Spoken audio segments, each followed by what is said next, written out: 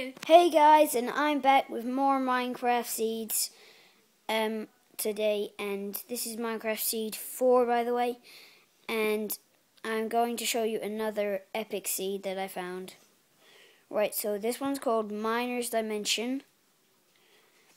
Right, and what kind of the this will also be in the description so you can check it out.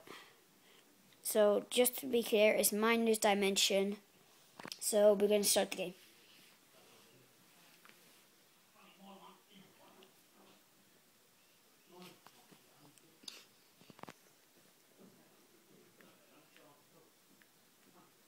So you see there's a load of water and there's a load of ice. Well, there's just too much ice. There's some trees over there. Um, so it's pretty cool.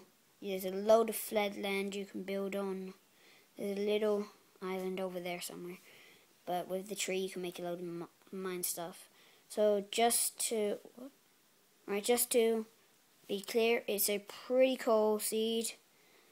But have luck trying to find some diamonds, coal, and that stuff. I had trouble finding all of that. Um, the pretty hard to find everything, but with a friend like I have on here, right this second, I hope. Where is he gone? He's over there somewhere. There. Um, maybe he or she could help you try and find some diamonds or gold. But there's also mm -hmm. quite a lot of sheep.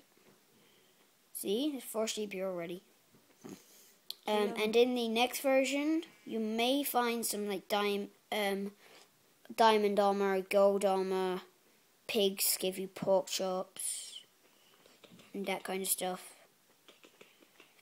So practically, this Minecraft Pocket Edition is turning into the Minecraft computer version.